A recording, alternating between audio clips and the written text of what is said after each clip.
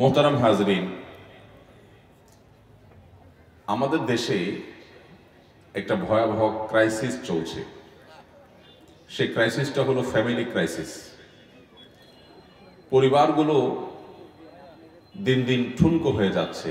বিশেষ করে দাম্পত্য জীবন, এটা যতটা সুখের ছিল আমাদের এই অঞ্চলের মানুষের মধ্যে, ধর্ম, বর্ণ নির্বিশেষে সেই দাম্পত্য সম্পর্কগুলো আর আগের মতো ভালো যাচ্ছে না।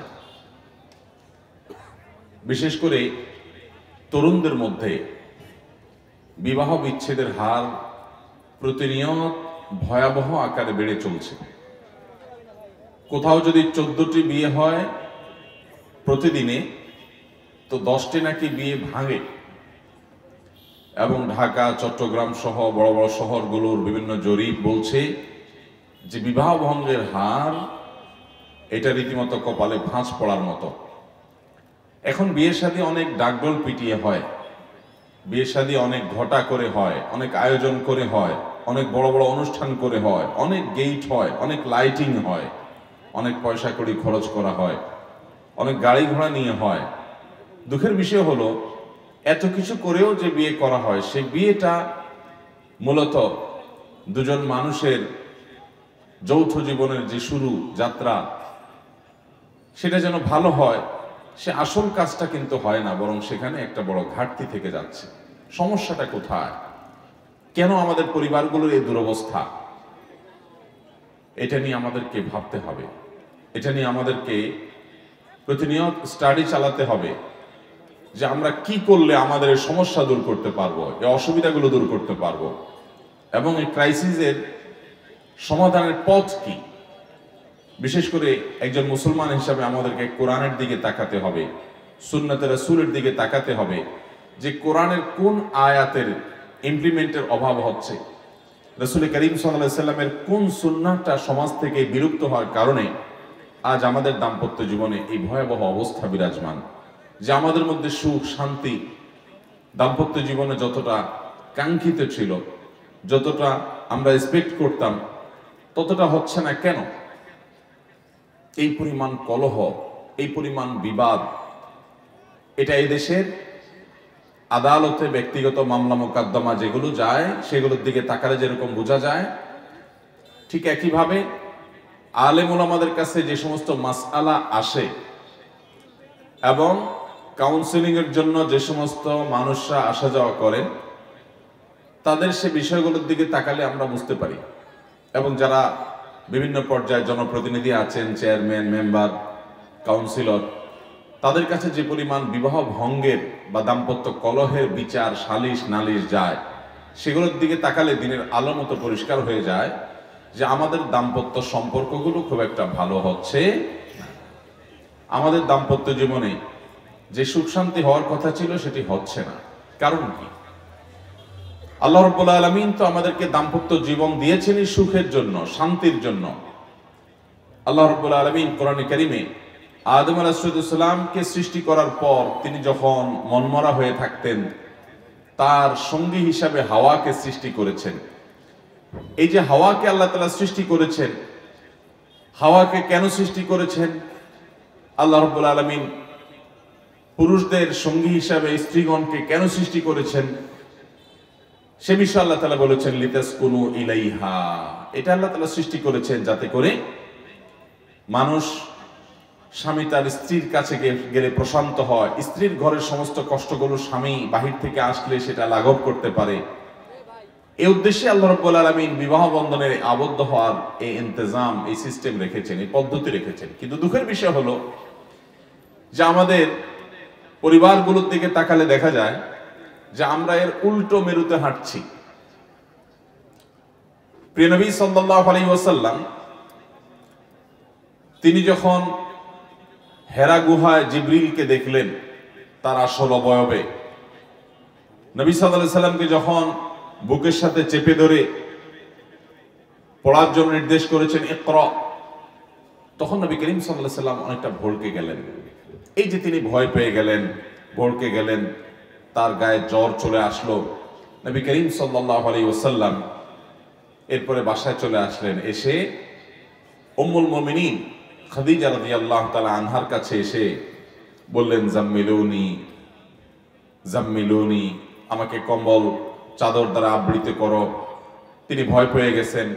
খাদিজা রাদিয়াল্লাহু তাআলা আনহার ভূমিকা তখন কি ছিল? কোরআনে উল্লেখ হয়েছে, আমরা জানি। খাদিজা রাদিয়াল্লাহু তালা আনহা নবী আলাইহি সাল্লামকে তখন সান্ত্বনা দিলেন। হাদিসে রাসূলের মধ্যে বর্ণিত হয়েছে, তিনি বলেছেন, কাল্লা লা ইউযিকাল্লাহু আবাদা। আপনার টেনশনের কোনো কারণ নেই, আপনি কোনো পরেশান হবেন না। আপনি যে সমস্যার কথা বলছেন, যে আপনি ভড়কে গেছেন, হেরা গুহায় জিবরিলকে দেখে, আপনার ভয়ের কোনো কারণ নেই। কারণ, ইন্নাকা তাহমিলুল কাল আপনি কাজ করেন, ওই ভালো কাজ করেন, মানুষের বিপদ আপদে দূরে আপনি সহায়তা করেন। আপনি মানুষের বোঝাটা বহন করে দেন, আপনি পরোপকার করেন। এরকম মানুষকে আল্লাহ তালা বেজ্জত করেন না, করবেন না আল্লাহ তালা আপনাকে। খাদিজা আল্লাহ তালা নবী সাল্লাহ সাল্লামকে সান্ত্বনা দিলেন। এমন সান্ত্বনা দিলেন, নবী করিম সাল্লাহ সাল্লাম স্বাভাবিক হয়ে গেলেন। তার ভয় দূর হয়ে গেল।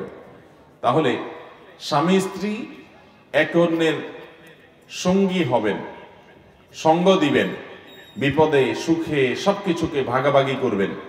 এই জন্য আল্লাহ তালা দাম্পত্য জীবন দিয়েছেন। নবী করিম সাল্লাম বাহিরে পেরেশান হলে বাসায় আসতেন সে পেরেশানি দূরের জন্য। স্ত্রীর কাছে আসলে পেরেশানি দূর হতো। আর আমাদের অবস্থা হলো আজকাল বাসায় স্বামী স্ত্রী ঝগড়াঝাটি করে, মারামারি, কাটাকাটি, গন্ডগোল, ফাসাদ করে এরপরে বাড়ি থেকে বউ বের হয়ে বাবার বাড়ি চলে যায় আর স্বামী বের হয়ে কোনো বন্ধু বান্ধবের কাছে বা অন্য কোথাও চলে যায়। এই হলো আমাদের দাম্পত্য জীবনের অবস্থা। মোহতারাম হাজরিন এই দুরবস্থার প্রথম এবং প্রধান কারণ হল যে আমরা বিবাহের ক্ষেত্রে দিনদারিতাকে প্রাধান্য দিচ্ছি না। বিবাহের ক্ষেত্রে দিনদারিতাকে প্রাধান্য দিচ্ছি না। বিবাহের ক্ষেত্রে দিনদারিতাকে যদি প্রাধান্য না দেই, তাহলে কখনো দাম্পত্য জীবনে সুখ শান্তি আসবে না। দাম্পত্য জীবনে যদি আমরা সুখী হতে চাই, তাহলে সব কিছুর আগে আমাকে ধার্মিকতা, দিনদারিতা এটাকে প্রাধান্য দিয়ে দিতে হবে। তাহলে এটা হবে দাম্পত্য জীবনের সুখে জীবনযাপন করবার জন্য প্রথম পদক্ষেপ। নবী করিম সাল্লা সাল্লামের সেই প্রসিদ্ধ হাদিস আমরা সবাই জানি। তিনি বলেছেন তুমকা হলমার আতুলি আর বাইন নারীদেরকে বিয়ে করা হয় চারটি জিনিস দেখে। কেউ তাদের টাকা পয়সা দেখে বিয়ে করে, কেউ তাদের বংশমর্যাদা প্রতিপত্তি, প্রভাব, সামাজিক অবস্থান, এগুলো দেখে বিয়ে করে। কেউ তাদের কেউ তাদের সৌন্দর্য, রূপ লাবণ্য, সেগুলো দেখে বিয়ে করে। আবার কেউ দিনদারিতা দেখে বিয়ে করে। ফজফার বিজাতি দিন, অতএব তোমরা দিনদারিতা দেখে বিয়ে করবে। এটা যদি করো, তাহলে তোমরা সফল হবে, সার্থক হবে, সুখী হবে। অতএব দাম্পত্য জীবনে সুখের মূল চাবিকাঠি হলো যে আপনার সঙ্গী তিনি দিনদার কিনা। এটা আগে থেকে নির্বাচন করবেন যে দিনদার সঙ্গী হতে হবে। অন্য সব ক্ষেত্রে স্যাক্রিফাইস হবে। কিন্তু দিনদারিতে কোনো স্যাক্রিফাইস হবে না। আপনার সঙ্গী যদি দেখতে ততটা সুন্দর নাও হয়, আপনার সঙ্গী তিনি যদি অনেক বেশি সামাজিক অবস্থা সম্পন্ন নাও হন, তার অন্য অনেক দিক থেকে যদি দুর্বলতা থাকেও, কিন্তু তার মধ্যে যদি দিনদারিতা থাকে, আল্লাহ ভীরুতা থাকে ইমান থাকে তাকুয়া থাকে তাওহীদ থাকে, সুন্নাতে রাসূলকে আঁকড়ে ধরার মানসিকতা থাকে, তাহলে এই দাম্পত্য জীবনে সুখ হবে, শান্তি আসবে ইনশা আল্লাহ দিনদারিতা কাকে বলে? দিনদারিতা মানে কিন্তু শুধুমাত্র নামাজ কালাম পড়লেন, মহিলারা বোরকা গায়ে দিলেন, পর্দা করলেন, পুরুষরা মুখে দায়ী রেখে দিলেন, এটাই কিন্তু একমাত্র দিনদারিতা নয়। এটা দিনদারিতার একটা অংশ। দাম্পত্য জীবনে সুখী হওয়ার জন্য দিনদারিতার যে বিষয়গুলো দেখতে হবে, তার প্রথম হলো যে আপনি যাকে বিবাহ করবেন, পুরুষ হোক কিংবা নারী হোক, পাত্র হোক কিংবা পাত্রী হোক, সেই ভদ্রলোক কিংবা ভদ্র মহিলা আল্লাহর কাছে নিজেকে পরিপূর্ণভাবে সমর্পণ করেছেন কি করেননি? এটা হলো সবচেয়ে বড় প্রশ্ন। আল্লাহর কাছে সমর্পণ মানে কি? ইন্না সলাতি ওয়ানুসুকি আলামিন। নিশ্চয় আমার সলাত, আমার কোরবানি, আমার জীবন, আমার মরণ, আমার সব কিছু আল্লাহর জন্য সঁপে দিলাম। আল্লাহ রব্বুল আলমিন যেভাবে বলবেন, এগুলোকে সেভাবে ব্যবহার করব। আল্লাহ বলেছেন, কোনো কাজ করতে তো আমি করব, আল্লাহ বলেছেন, করো না তো আমি করব না। আল্লাহ তালা কোনোটাকে হালাল করেছেন তো আমি সেটাকে হারাম করব না, আর আল্লাহ কোনোটাকে হারাম করেছেন সেটাকে আমি হালাল করব না। এই রকম প্রতিজ্ঞা নিয়ে যদি কোনো মানুষ তার জীবন পরিচালিত করে, তাহলে তিনি দিনদারিতার প্রথম এবং মূল শর্ত পূরণ করেছেন, যে লোকটা আল্লাহর কাছে সারেন্ডার করেছেন আমরা অনেকে আসি নামাজ কালাম পড়ি, কিন্তু কোরআনের কাছে আমরা সমর্পণ করি না নিজেকে, হাদিসের কাছে সমর্পণ করি না। ইমানদার সে, যে কোরআন এবং সুন্নার কাছে নিজেকে সমর্পণ করে, কোরআন এবং সুন্নার সামনে সে মাথা নত করে দেয়, অর্থাৎ আনুগত্য করে কোরআন এবং সুন্নার। আল্লাহ বলেছেন, আল্লাহ রসুল বলেছেন, বাস। আমার যুক্তি, আমার বুদ্ধি, আমার মেজাজ, আমার রুচি, আমার সব কিছুর বিরুদ্ধে দাঁড়াক। কিন্তু তারপরও কোরআন হাদিসের সামনে আমি মাথা নত করে দিব। বাস, কোরআন হাদিসের কথা শুনলে সাথে সাথে সে মাথা নত করে, মেনে নেয়। এটা হলো দিনদারিতার মূল বিষয়, প্রধান বিষয়। নামাজ কালাম পড়ে, হালাল হারাম মেনটেন করে না। মাহারাম মেনটেন করে না, মাহারাম। পুরুষদের জন্য কিছু মহিলাদের সঙ্গে দেখা দেওয়া জায়েজ, আর কিছু মহিলাদের সঙ্গে দেখা দেওয়া না জায়েজ, হারাম। এই মাহারাম মেনটেন যদি কেউ না করে, তাও সে পরিপূর্ণ দিনদার হতে পারে। ঠিক মহিলাদের ক্ষেত্রে একই কথা প্রযোজ্য। একজন নারীর জন্য কিছু পুরুষের সাথে দেখা দেওয়া যায়, তার বাপ, তার ভাই, তার চাচা, তার দাদা, তার নানা, তার মামা, তার সন্তান, এদের সাথে দেখা দেওয়া যায়।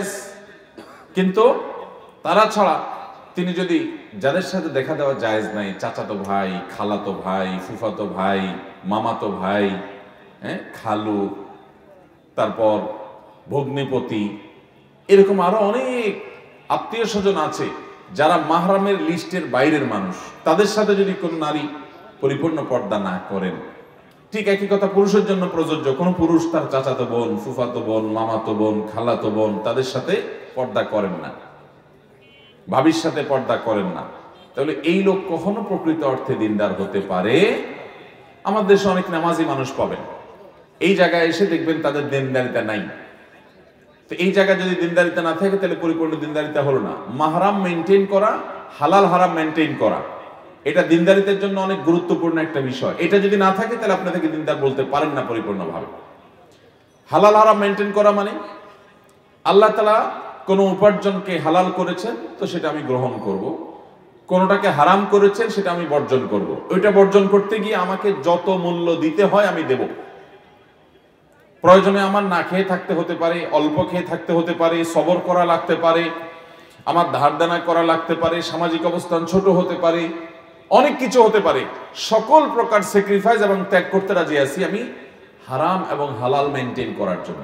এই হালাল এবং হারাম মেনটেন করার মতো মানসিকতা যদি থাকে কোনো যুবক এবং কোনো যুবতীর মধ্যে, তাহলে দিনদারিতার ক্ষেত্রে সে একশোর ভিতরে চল্লিশ মার্ক অটোমেটিক পেয়ে গেল যে হালাল হারাম সে মেনটেন করে। অনেক মানুষ দেখবেন নামাজ কালাম পড়ে। হয়তো মুখে দাঁড়িয়েও আছে। অনেক বোন আছেন যে হয়তো বোরকাও পড়েন কিন্তু এই যে হালাল হারাম মেনটেন মাহারাম মেনটেন এটা করেন না। তাহলে সেক্ষেত্রে দিনদারিতার ক্ষেত্রে একশো ভিতরে ধরেন চল্লিশ মার্কই তার নাই হয়ে গেল। কারণ সে দিনদারিতার অনেক গুরুত্বপূর্ণ একটা পাঠ লঙ্ঘন করে চলেছেন যেটা আমরা অনেকে খেয়াল করি না।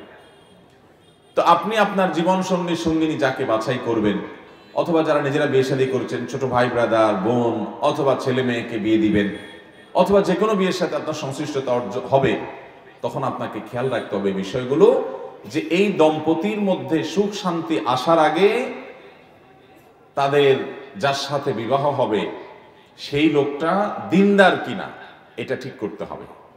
দেখুন, টাকা পয়সার অভাব নাই। আজ থেকে পঞ্চাশ বছর আগে, ত্রিশ বছর আগে, চল্লিশ বছর আগে আমার দেশে মানুষের কাছে এত টাকা পয়সা ছিল না। কিন্তু পারিবারিক সম্পর্কগুলো কিন্তু এখনকার চাইতে ভালো ছিল। স্বামী স্ত্রীর মধ্যে বোঝাপড়াটা এখনকার চাইতে অনেক ভালো ছিল। এখন কিন্তু সেরকম বোঝাপড়া নাই। এর অন্যতম কারণ হলো, বৈষয়িক বিষয় মানুষকে সুখী করতে পারে না। টাকা পয়সা হলেই যদি দাম্পত্য জীবনে সুখ শান্তি হতো তাহলে সেক্ষেত্রে ইউরোপিয়ানরা, আমেরিকানরা, পৃথিবীর অনেক উন্নত দেশ, যাদের টাকা পয়সার অভাব নাই, যাদের গাড়ি বাড়ির অভাব নাই, যাদের নাগরিক সুবিধাগুলো আমাদের চাইতে বহুগুণ ভালো, তাদের লাক্সারিয়াস লাইফ লিড করার জন্য সব ব্যবস্থা আছে। এত কিছু থাকার পরও তাদের দাম্পত্য জীবনে সুখ শান্তি তো পরের কথা, দাম্পত্য সম্পর্ক বলতেই তেমন উল্লেখযোগ্য কিছু নেই। ভয়াবহ একটা অবস্থা। স্বামীর ক্যাবলা একদিকে, স্ত্রীর ক্যাবলা একদিকে। স্বামী স্ত্রী তো হয় না। মিউচুয়াল আন্ডারস্ট্যান্ডিং করে দিন কাটায় দেয়। মনে চাইলে বুড়ো বয়সে বিয়ে করল তো করল, না করল তো নাই। আর একজনের করল তো ছেড়ে আরেক জায়গায় করল। এক একজনের চারটা পাঁচটা করে পার্টনার চেঞ্জ হয়ে গেল। আর যদি একসাথে থাকেও, তো তথাকথিত অতিরিক্ত ব্যক্তি স্বাধীনতার নাম দিয়ে তারা প্রত্যেকে যার যার মতো স্বেচ্ছাচারী, প্রত্যেকে যার যার পথের পথিক। কোন বন্ধন আমাদের এই অঞ্চলে মানুষের মধ্যে, এই অঞ্চলে শুধু মুসলমানদের মধ্যে না হিন্দুদের মধ্যেও, অন্য ধরনের মানুষের মধ্যেও পারিবারিক এবং দাম্পত্য সম্পর্কটা যতটা ভালো এটা এই অঞ্চলে মানুষের একটা সৌন্দর্য, সেটা পৃথিবীর অনেক এলাকাতে খুঁজে পাবেন না। তো আমাদের এই এলাকাতে, এই পাকবরত মহাদেশে, বাংলাদেশে দাম্পত্য জীবনে যে সম্পর্কগুলোর অবনতি, ঘাটতি এবং খারাপ যাচ্ছে, এর অন্যতম কারণ হলো বিবাহ দিনদারি দেখে করা হয় না। মেয়ে পক্ষ শুধু ছেলে পক্ষের সামাজিক অবস্থান, টাকা পয়সা এগুলাই খোঁজে দিনদারিতা খোঁজে না। আর ছেলে পক্ষ মেয়ে পক্ষের সামাজিক অবস্থান, রূপলাবণ্য, এই সমস্ত নাম যশ খ্যাতি কিংবা পড়ালেখা, সার্টিফিকেট, এগুলোই শুধু দেখে। এগুলো দেখেন দোষের নেই। কিন্তু সবচেয়ে বেশি দেখার কথা যেটা, সেটা দেখার কোনো নাম গন্ধ এখন বিয়ে শাদিতে খোঁজ খবর যদি দিনদারিতা সম্পর্কে নেওয়া হয়, এখন অবশ্য সেটাও নেওয়া হয় না। এক সময় আমরা দেখতাম, জিজ্ঞেস করা হতো, মেয়ে কোরআন শরীফ পড়ছে কিনা? ছেলে কোরআন কারিমটা পড়তে পড়ছে কিনা, খতম দিছে কিনা, এই জিনিসগুলো দেখা হতো। এখন সেটাও দেখা হয় না। যার কারণে আমরা টাকা পয়সা ব্যাংক ব্যালেন্স গাড়ি বাড়ি, অন্যান্য অনেক দিক থেকে আমরা উন্নত হচ্ছি, কিন্তু দাম্পত্য সম্পর্কের দিক থেকে আমরা অবনতির দিকে যাচ্ছি। এই জন্য ভাইরা আমার প্রথম দাম্পত্য জীবনে সুখী হওয়ার জন্য দিনদারিতাকে প্রাধান্য দিতে হবে। তো দিনদারিতার ক্ষেত্রে কি বলেছি? প্রথম বিষয় হলো যে পাত্র বা পাত্রী আল্লাহর কাছে নিজেকে পরিপূর্ণভাবে সঁপে দিয়েছেন কিনা, যে আল্লাহর নির্দেশের উপর আর কিছু নেই। তার তার সামনে আল্লাহ বলেছেন, আল্লাহ রসুল বলেছেন, এই কথা আসলে সবকিছু সে সারেন্ডার করে দেয়। এটা হলো দিনদারিতার প্রথম এবং প্রধান মার্কা। এরপরে বলেছিলাম, দিনদারিতার তার মার্কা হলো, আলামত হলো, নিদর্শন হলো যে সে পরিপূর্ণভাবে নিজেকে আল্লাহর কাছে সমর্পণ করে। এমনকি উপার্জনের ক্ষেত্রে হালাল হারাম মেনটেন করে এবং মাহরাম মেনটেন করে। মেয়েদের মধ্যে স্বামীর হালাল হারাম মেনটেন করার গুরুত্ব যদি তাদের মধ্যে থাকে, কোনো পাত্রী যদি সেটা উপলব্ধি করেন, হালাল হারাম যদি তিনি মেনটেন করেন, তাহলে তার স্বামী হারাম উপার্জন করুক, তিনি চাইবেন না। তিনি চাইবেন তার স্বামী সরকারি চাকরি করুক আর বেসরকারি চাকরি করুক, ব্যবসা করুক আর কৃষি কাজ করুক, যে কাজই করুক না কেন, সে চাইবে যে আমার স্বামী যেন হারাম কোনো কিছু না আনে। আমরা হালাল খেতে চাই, হালাল খেয়ে বাঁচতে চাই হারাম আমরা চাই না, তাতে সামাজিক অবস্থান না থাকুক, গাড়ি বাড়ি না হোক, আমরা আর্থিকভাবে কষ্টে থাকি, দুর্বল থাকি, কিন্তু আমরা হারামে যাব না। এটা হলো একজন নারীর দিনদারিতার একটা শক্তিশালী দিক। কিন্তু আজকাল আমাদের সমাজে এগুলো আছে? নাই। শুধু পয়সা চায়। বউ কি চায়? পয়সা চায়। যে পয়সা আনো, কোত্থেকে আনব আমার দেখার দরকার নেই।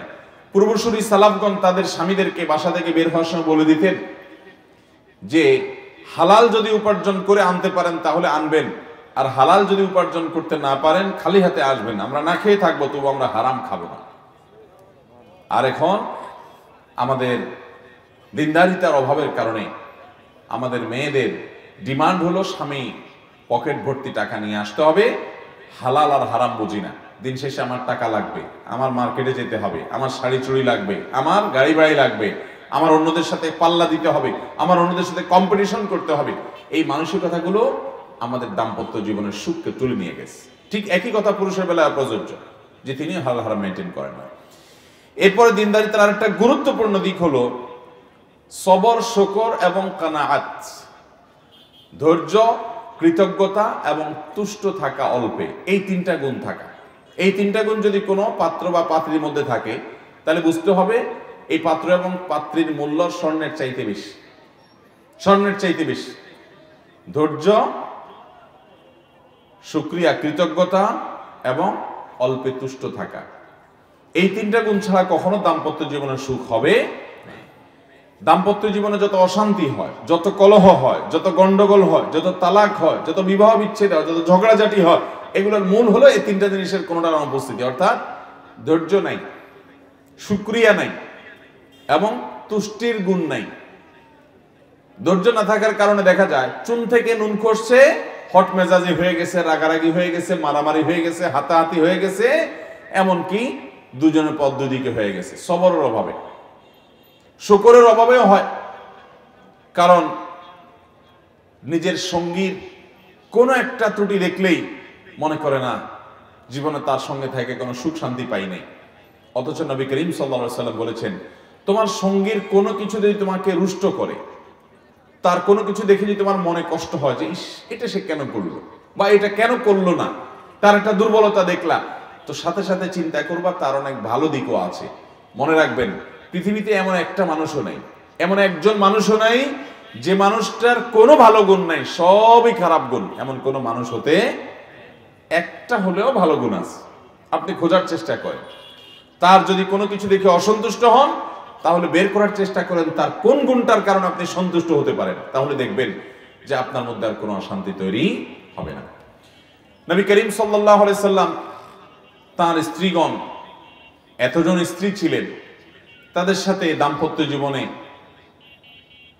তার কোনো বিষয় নিয়ে বুঝের গরমিল হয় নাই। কোনো প্রকার সব বেটে বলে হয়ে গেছে, যা চাইছেন তাই হয়ে গেছে।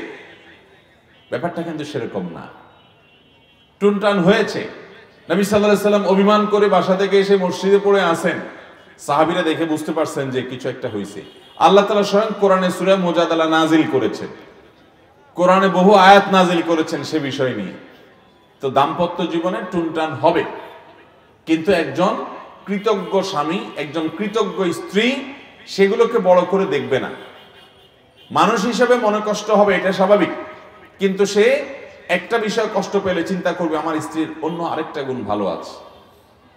তিনি রান্নাটা ভালো করতে পারেন না, তো তার চেহারাটা সুন্দর আছে। চেহারাটা সুন্দর নাই, তো তার পড়ালেখার গুণটা ভালো আছে। পড়ালেখার গুণটা নাই, তো তিনি কেয়ারিং খুব যত্ন নেন। এটাও নাই, তো তিনি সচ্চরিত্রবান চরিত্রের সমস্যা নাই। বহু মহিলা চরিত্রের সমস্যা আছে, অনেক স্বামী সেটা সাফার করছেন। বলতে পারছেন না লজ্জায়, আমার স্ত্রী অন্তত এই সমস্যাটা নেই। এরকম কোনো না কোনো ভালো দিক আছে না নেই। ঠিক একই কথা স্বামীর বেলায়ও প্রযোজ্য, যে নারী তার স্বামীর ব্যাপারে অভিযোগ করতে করতে শেষ। কিছু অমানুষ থাকে যে হ্যাঁ তাদের সাথে বসবাস উপযুক্ত না। এরকম রেয়ার কিছু থাকে। কিন্তু বেশিরভাগ ক্ষেত্রে আপনি যে অভিযোগ করবেন যে, আপনার স্বামী অলস, উপার্জন করে না, আপনার কষ্ট হয়, বাপের বাড়ি থেকে অনেক সময় হেল্প নিতে হয়, সে আপনার পরিশ্রমী না, বুঝলাম আপনার এই কথা সত্য। কিন্তু লোকটা হয়তো চরিত্রবান। কত বোন আছেন, তাদের স্বামী দুহাত ভরে টাকা ভর্তি করে নিয়ে আসে। কিন্তু স্বামীগুলো সব পরকীয় আসক্ত, পরনারীতে আসক্ত। অমানুষ এই মহিলার জীবনটা জীবন্ত জাহান্নাম হয়ে যায়।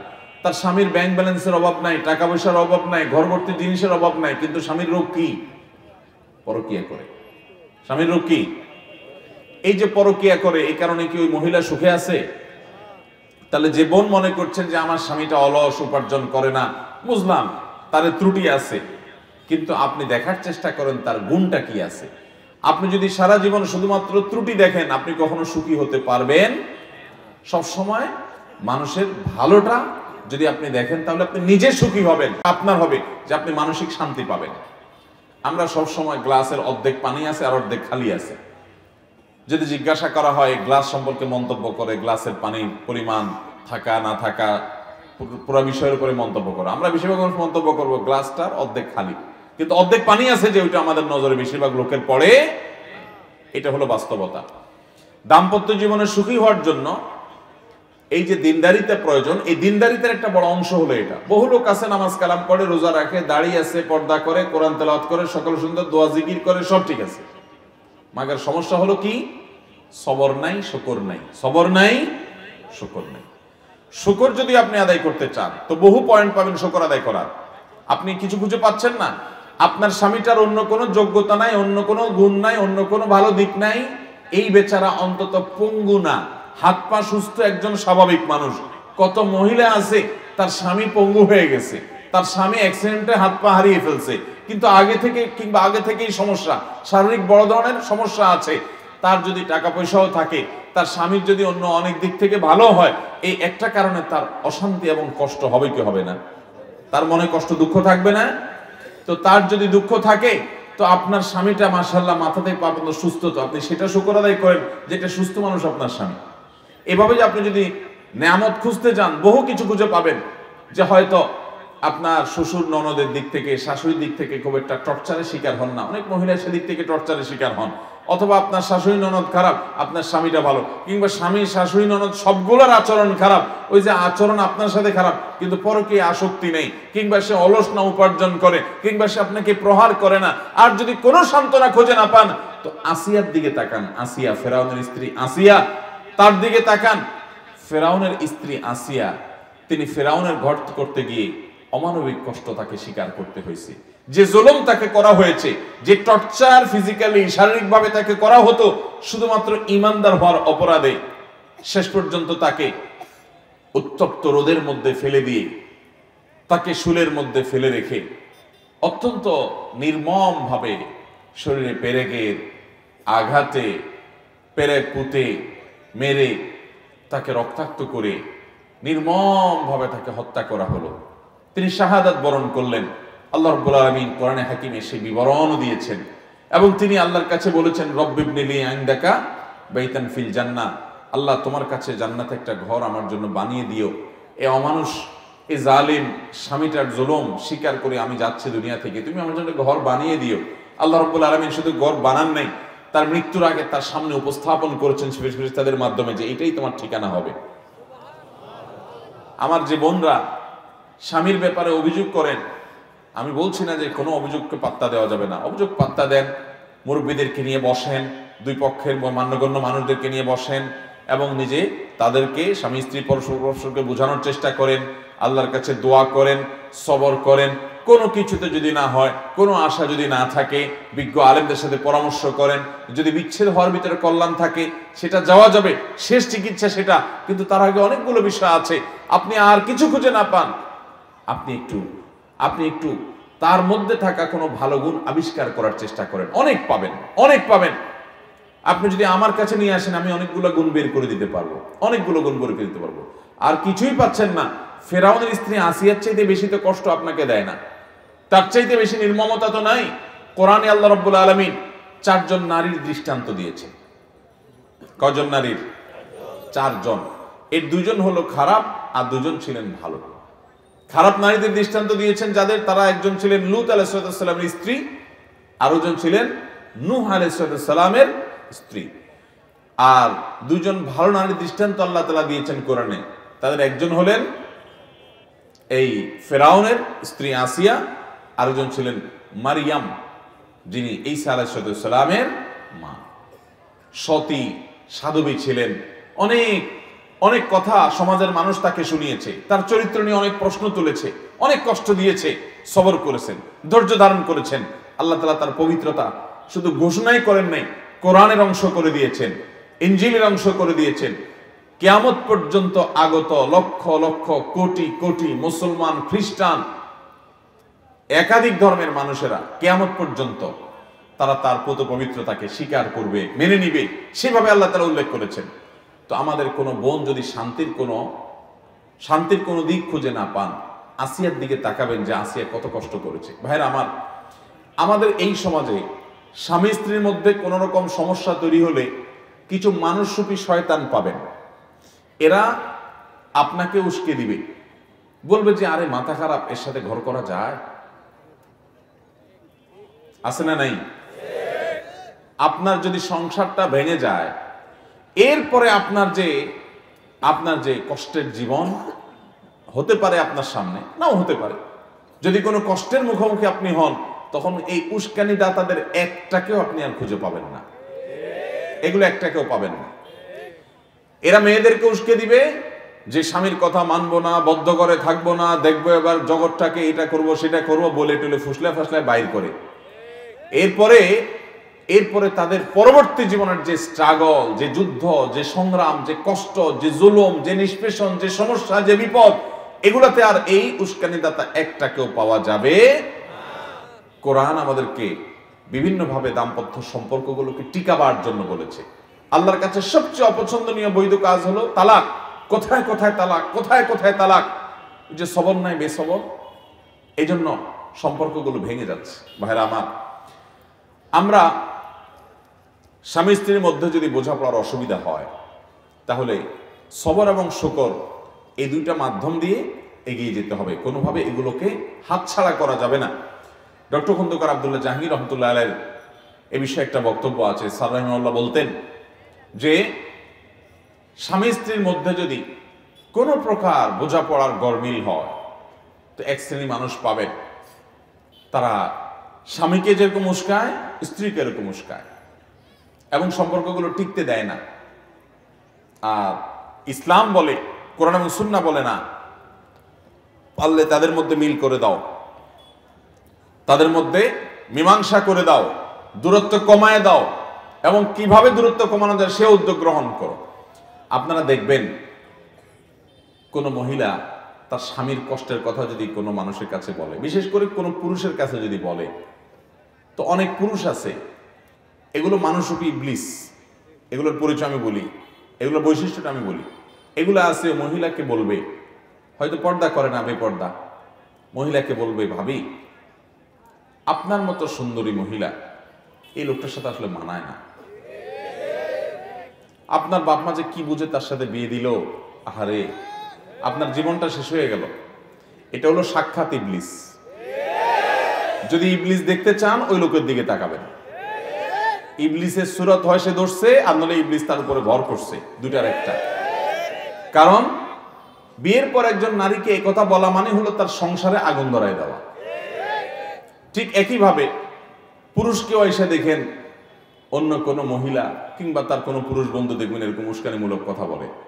বলবে যে, ভাই, আপনার মতো রাজপুত্র ছেলে, আপনার জীবনে কত ভালো ভালো ছেলে পাওয়া যাইতো।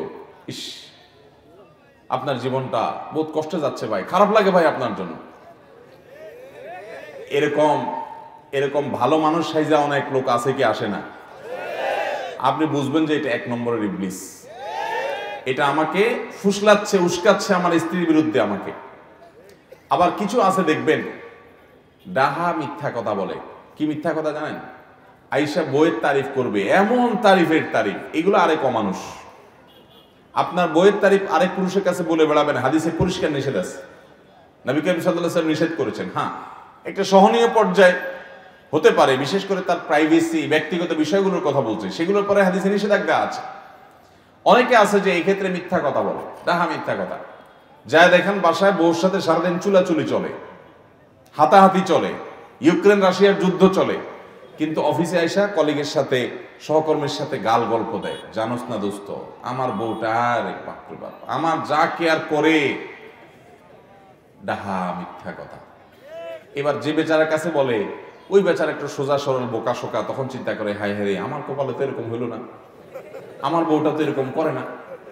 আবার ওই মহিলার কাছে দেখবেন কিছু মহিলা আছে, ইবলিস মার্কা মহিলা, আইসা মহিলাকে ফুসলাবে, বলবে কি, জানেন, আরে আমার স্বামীটা কোনোদিন খালি হাতে আসে না।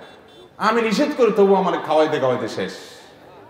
আমার বাপের বাড়িতে যাইতে তিন হাত ভরে নিয়ে যায়। হাত আছে দুইটা, তিন হাত ভরে নিয়ে যায়।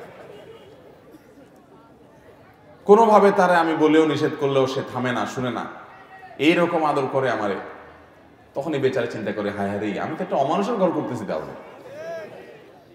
ভাইরা আমার, নবী করিম আলাইহি সাল্লামের সাথে যদি স্ত্রীর উম্মুল মুমিনিন আল্লাহ বলেছেন স্ত্রীগণ আমাদের কি? মা। তাদের সাথে যদি নবী টুনটান, বোঝাপড়ার গরমিল হয় মান অভিমান হয়, তাহলে আমাদের জীবনে এটা হতে পারে কি পারে না? তার জীবনে যদি হয় একবার, আমাদের জীবনে শতবার হবে, এটাই স্বাভাবিক।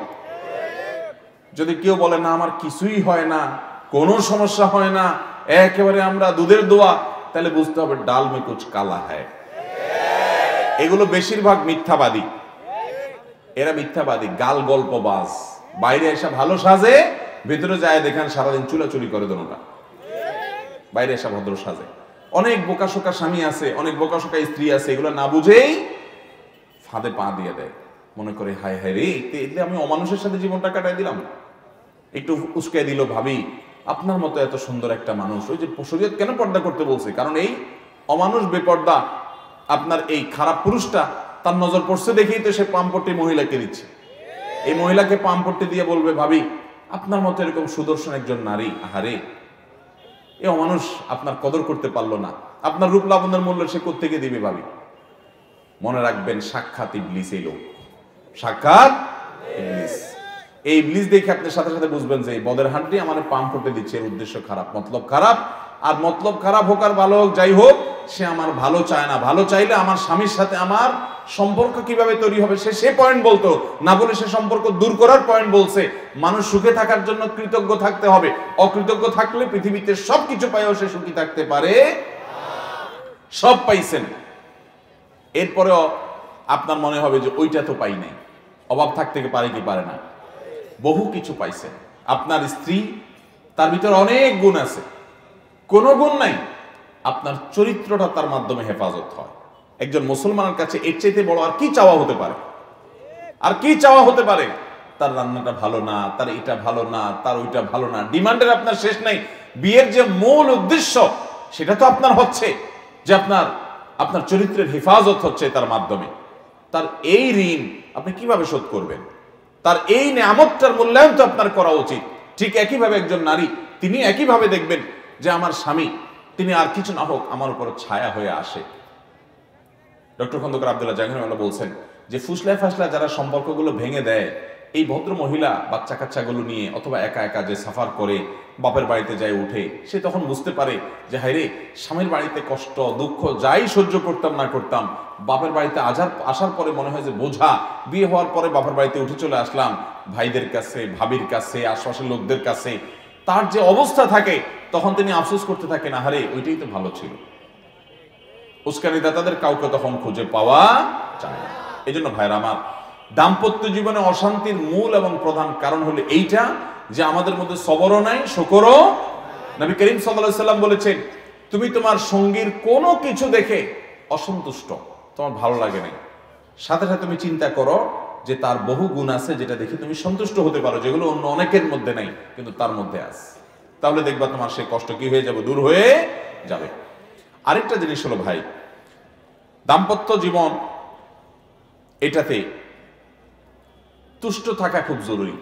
আমি যা পাইছি তাতে আলহামদুলিল্লাহ বলব। আমার স্ত্রীর মধ্যে সমস্যা আছে, ওকে। আমার স্বামীর মধ্যে সমস্যা আছে, ওকে। সত্য। কিন্তু সমস্যা আরও বেশি থাকতে পারতো কি পারতো না? অতএব আল্লাহ তালা যেটুকু দিয়েছেন সেটুকু আলহামদুলিল্লাহ। আল্লাহ বলেছেন ইন শাকার তোমলা আজি দান্নাকুম তোমরা যদি আমার কোনো নিয়ামত পাওয়ার পরে শুকর আদায় করো আমি তোমাদের নিয়ামত আরও বাড়াই দিব। ওলা ইন কাফারতুম আর যদি নিয়ামতের নাশকরি করো ইন্না আযাবি লাশাদীদ তাহলে আমার আযাব বড় কঠোর এবং শক্ত। আল্লাহ রাব্বুল আলামিন আমাদের সবাইকে সুখী দাম্পত্য জীবন তৌফিক এবং নসিব করুন।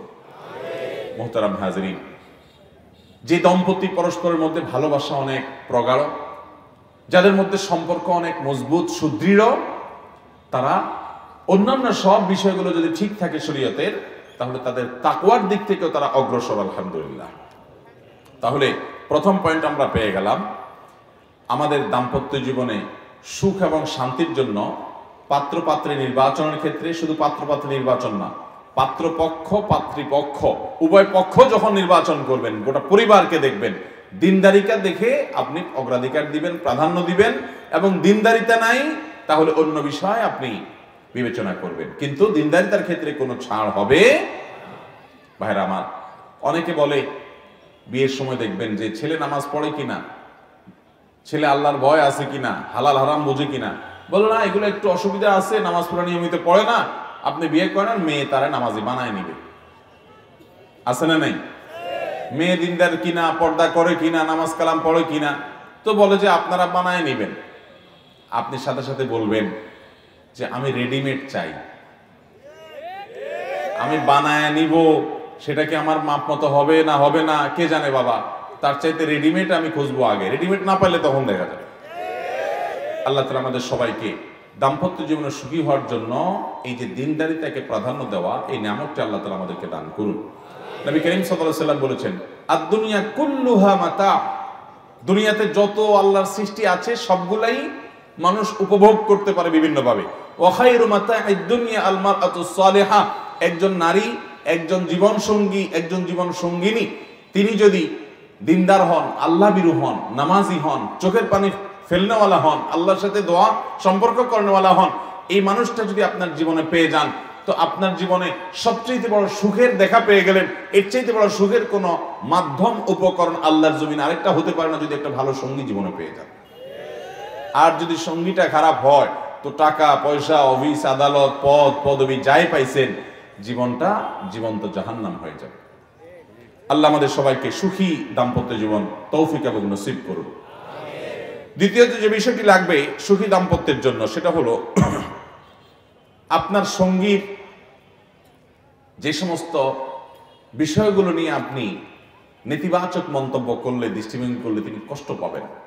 খবরদার। সেগুলো বলা আপনার জন্য জায়েজও নাই, উচিতও নাই, বলবেনও না। বরং তার সে পয়েন্টগুলোতে আপনি খুব সিরিয়াস হবেন এবং দায়িত্বশীলতার পরিচয় দিবেন। যেমন, ছেলে হলে আপনি মেয়ে পক্ষের কি দেখবেন?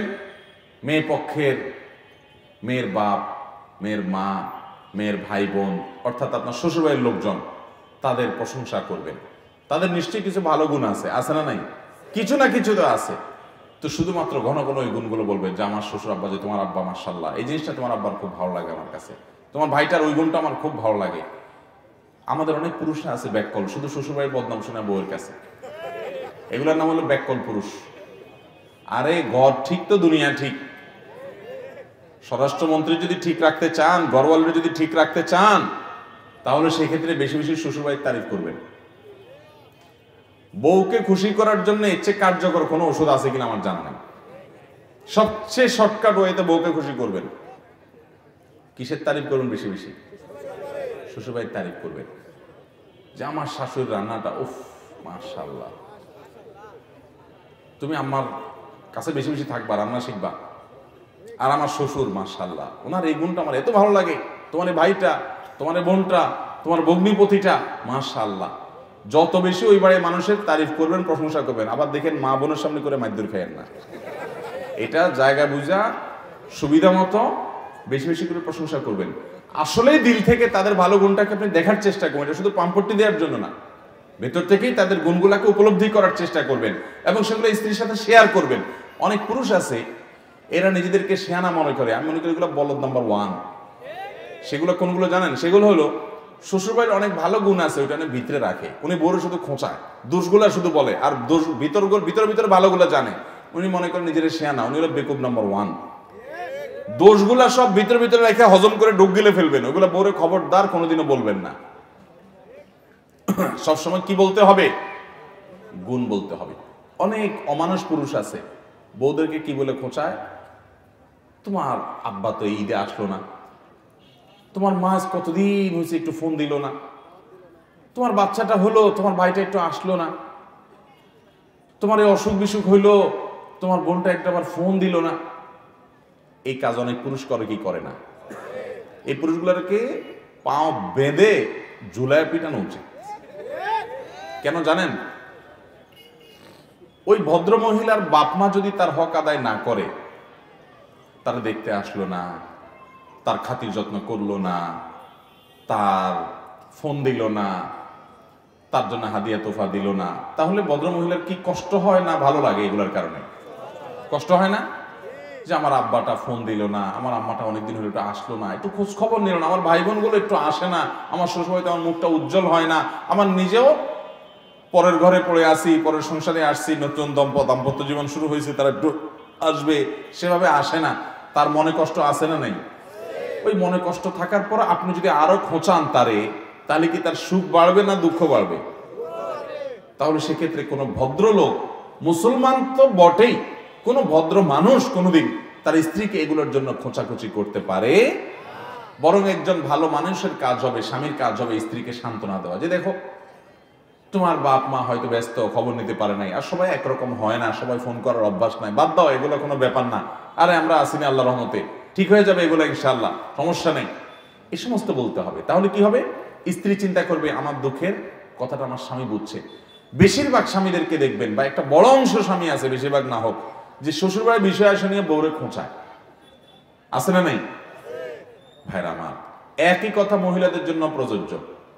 যে কথার কথা, ধরুন, একজন মহিলা তার স্বামী, তার বাপ, মা তার প্রতি সুবিচার করছে না। তার ভাই বোন তার ভিতরে সুবিচার করছে না। হতে পারে এরকম যে বাপে জমি জমা আরেক ভাইকে দিয়ে দিচ্ছে, আপনার স্বামীকে দিচ্ছে না, অথবা আপনার মা অন্য ভাই বোনকে অনেক আদর যত্ন করে, আপনার দিকে খেয়াল করছে না। আপনার ভাই বোনরা তাদেরকে অনেক লালন পালন করছেন, অনেক ভরণ পোষণ দিচ্ছেন, তাদের পড়ালেখা করাইছেন, টাকা পয়সা খরচ করছেন। এখন তাদের দিনকাল ভালো, তারা আপনার দিকে তাকায়ও না। এরকম হতে পারে কি পারে না? তখন অনেক মহিলা আছে, এগুলো দিয়া স্বামীকে এগুলো অস্ত্র হিসেবে পায়, এক একটা আলপিনের মতো খোঁচায় বা স্বামীকে। এগুলো দিয়ে কি করে? খোঁচায়। যে তোমার বাপটা কোনো মানুষ, তোমার মা এটা কোনো কাজ করল? তুমি কত কিছু করলা তাদের জন্য? ওরা তোমার বাচ্চার দিকে একটু তাকাইলেও না, মানুষ হয়তো অমানুষ হয়। এই মহিলা হলো ব্যাকল মহিলা। এই মহিলার নাম কি মহিলা? নির্বোধ মহিলা। বুদ্ধিমান মহিলা হলে সে তার স্বামীকে সান্ত্বনা দিবে। আরে বাদ দাও সমস্ত ভুলে যাও। তোমার ভাই ব্রাদার তোমার দিকে লক্ষ্য করছে না, তাতে কি হয়েছে? তোমার লক্ষ্য করার মানুষ অভাব আছে? কেউ লাগবে না, আল্লাহ যথেষ্ট আমাদের জন্য। টেনশন করবা না। আর আম্মা, আব্বা, ওনারা বুড়া মানুষ, ওনাদের অনেক ভুলভাল হয়, আল্লাহ ওনাদেরকে মাফ করুক। মানুষ বয়স হয়ে গেলে অনেক উল্টা পাল্টা হয়। এগুলো এত মাথা রাখতে হয় না, কোনো দরকার নাই। আল্লাহ বরস আমাদের আল্লাহ হলে চলবে, কিচ্ছু লাগবে না। আরে আমরা তো দুজন দুজনের ভালোবাসি আমরা তো ঠিক আছি। জগৎ উল্টে যাক, কিছু আসে যায় না।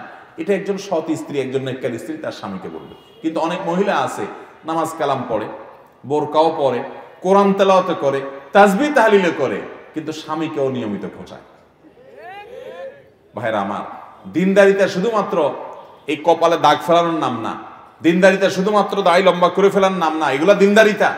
কিন্তু এগুলোর পাশাপাশি আমাদের আচরণটা সুন্দর করতে হবে, তখন আমরা পরিপূর্ণ দিনদার হতে পারব ইনশা অতএব ভাইরা আমার, দাম্পত্য জীবনে এই সুখী হওয়ার জন্য দ্বিতীয় পয়েন্টটা খুব গুরুত্বপূর্ণ, যে আমার সঙ্গীকে কোন কথাটা বললে তার আঘাত হবে?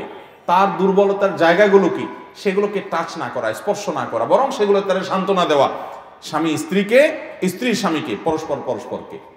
আর স্বামী হিসাবে বিশেষভাবে ওই যে বললাম, শ্বশুরের লোকদের তারিফ করবেন। যত বেশি শ্বশুরের লোকদের তারিফ করবেন, তত বেশি দেখবেন আপনার স্ত্রী আপনার অনুগত থাকবে, সম্পর্কটা ভালো থাকবে। আপনি স্ত্রীকে দিয়ে শুধু স্ত্রীর কথা বলব না, স্বামীর ক্ষেত্রে একই কথা। দাম্পত্য জীবনে পাম্পট্টি দেওয়া জায়েজ আছে। দাম্পত্য জীবনে পাম্পট্টি দেওয়া কি আছে? একজন মুসলমানের চরিত্রে মানুষকে বেহুদা পাম্পট্টি দেওয়া এমনি ভালো কোনো গুণ না। এটা মোদাহানাত বলে, তেল মারা বলে। বুঝতে পারছেন? এটা এমনিতে ভালো গুণ না, কিন্তু স্বামী স্ত্রীর জন্য এটা ভালো গুণ না, এটা জায়েজ আছে। একটু ঘুরায় গাড়ায় বললেও জায়েজ আছে। আপনি যে আপনার বউকে বলেন যে, তুমি চাঁদের চাইতেও সুন্দর। কিসের চাঁদ? আরে বাদ দাও চাঁদ চাঁদ বাসায় ঢুকে হঠাৎ করে লাইটটা বন্ধ করে দিলেন। আরে লাইট বন্ধ করছে লাইট দরকার নেই। তুমি থাকতে লাইট একেবারে নিষ্প্রয়োজন। কোনো দরকার নেই। শরবত বানায়া, চিনিটা না দিয়া বললেন যে আঙ্গুলটা দুই একটু চুবাই দাও। কারণ তুমি চুবাই দিলে আর চিনি লাগবে না। আল্লাহ তোমার মধ্যে এত মিশ্রতা দিয়ে রাখছে মাসাল্লাহ ভাই, আর কয়টা শিখাই দিব? এই যে দুইটা কথা বললাম, এই দুইটা আমার শেখানো না। Doctor Ayaz Al Qarni Saudi আরবের জনপ্রিয় আলেমেদিন এই দুইটা পয়েন্ট এই যে বাসা ঢুকলে লাইট বন্ধ করে দেওয়া আর চিনির মধ্যে আঙ্গুল চোবাই দেওয়া, এটা ওনার পরামর্শ।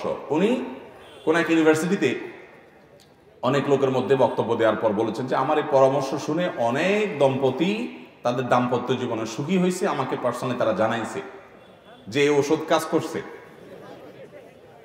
তো এখন দুইটা উনি শিখাই দিছে আর বাকিগুলো আপনাকে বের করতে হবে। প্রশংসা করতে শিখতে হবে। অনেক স্বামী আছে, অনেক স্ত্রী আছে, প্রশংসা করতে জানে না।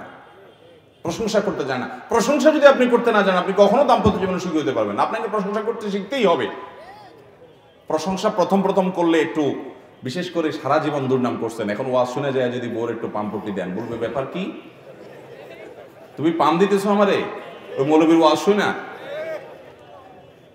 প্রথম প্রথম একটু বলবে, কিন্তু আপনি পাম বন্ধ করবেন না এসব শুনে। চালায় যাবে। আচ্ছা পাম না বলি, প্রশংসা, সুন্দর কথা বলি।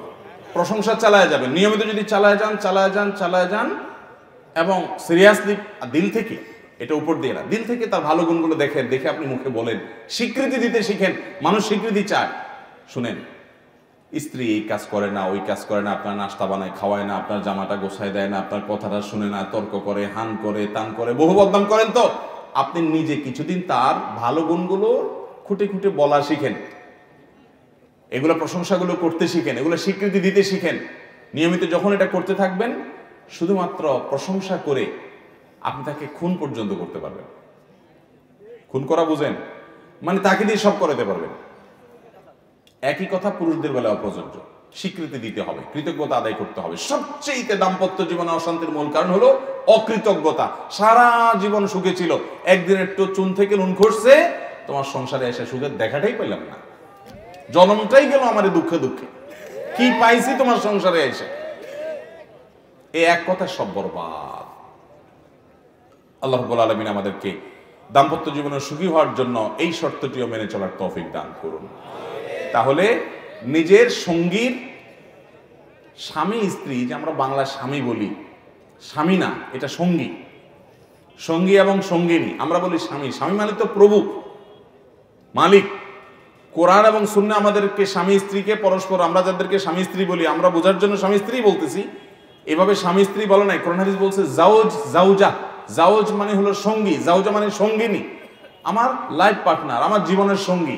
কিন্তু আমাদের এই অঞ্চলে বিশেষ করে হিন্দু ধর্ম মতে আপনার অনেক কুসংস্কারচ্ছন্ন বিশ্বাস ছিল, সতীদাহ ছিল, অনেক কিছু ছিল মানে স্বামী অনেকটা প্রভুর মতো ছিল।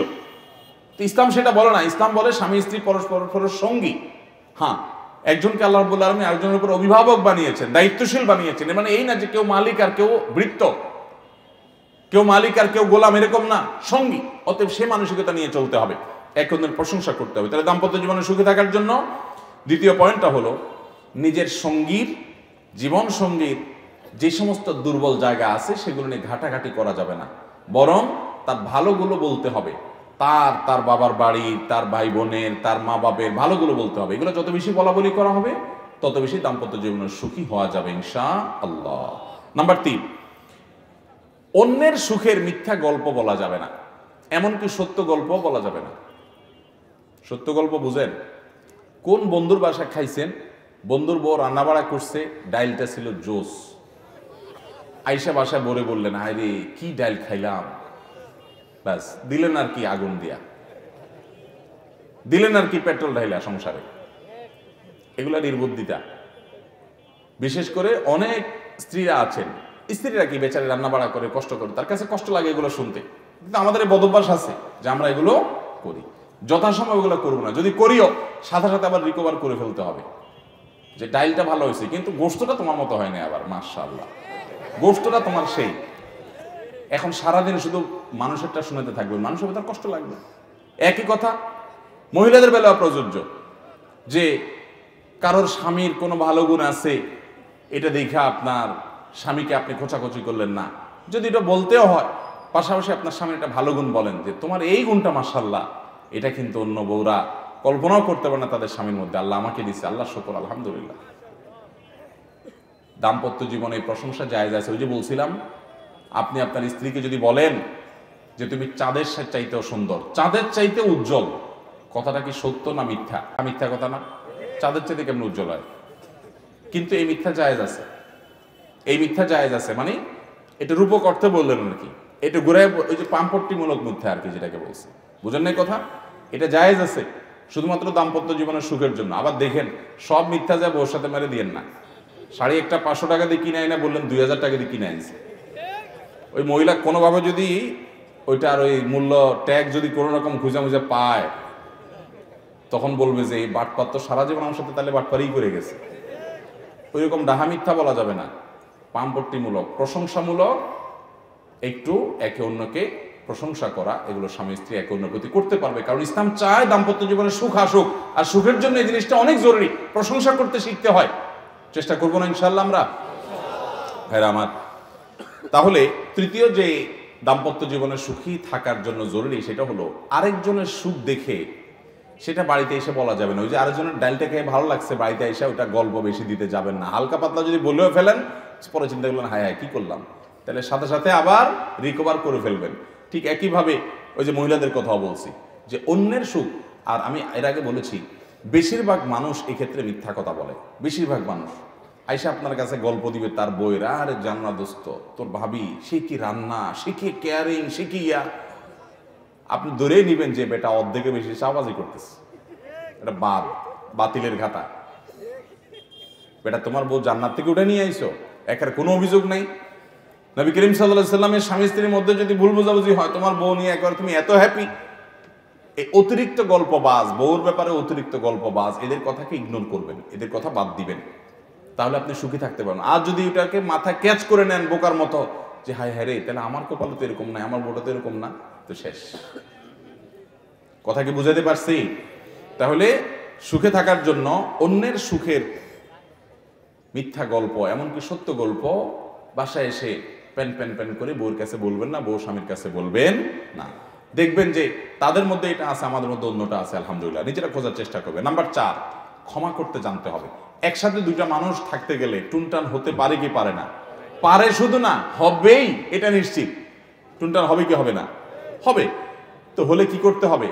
ক্ষমা করতে জানতে হবে। বিশেষ করে বিশেষ করে স্বামীদের এক্ষেত্রে আরও বেশি করা লাগে। দুনিয়াতে একজন মানুষ আছে যে ভুল করবে না, কিন্তু মাপ চাবে। তার নাম স্বামী। ভুল করবে না, কিন্তু কি চাবে?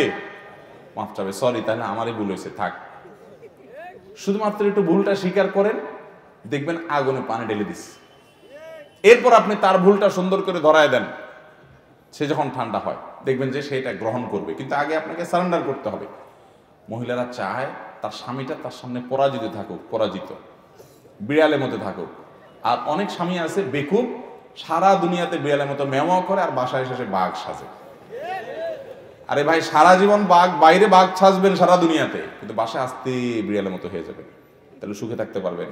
আর তা না হলে মায়ের একটাও নিচে পড়বে না, সব পিঠে পড়বে কথা কি বুঝাতে পারছি?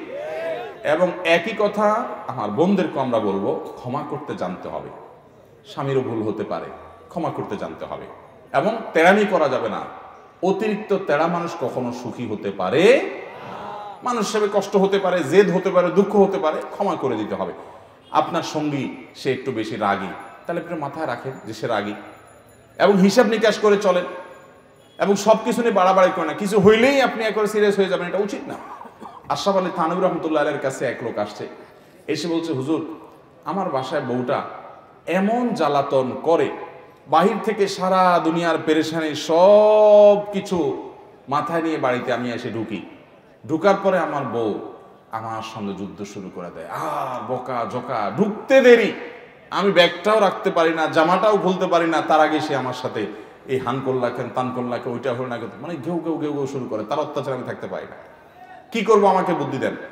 তো আশরাফ আলী থানতুল্লাহ বলছেন যে, বুদ্ধি হইল তুমি তোমার বাড়িতে ঢোকার আগে দরজায় কলিং বেল টিপে বা দরজা খটখট করে তুমি আসছো, এই খবর জানাইবা, তারপর বউ দরজা খুলবে, তারপরে সে তোমার সাথে রাব বিহেভ করবে, তোমার চেহারা দেখে বকাজকা শুরু করবে, এটা নাই কেন, এটা নাই কেন ইত্যাদি। তো তুমি দরজার সামনে গিয়ে দরজায় নক করার আগে কয়েক সেকেন্ডের জন্য একটু দাঁড়াবা। আচ্ছা দাঁড়ায় কি করব?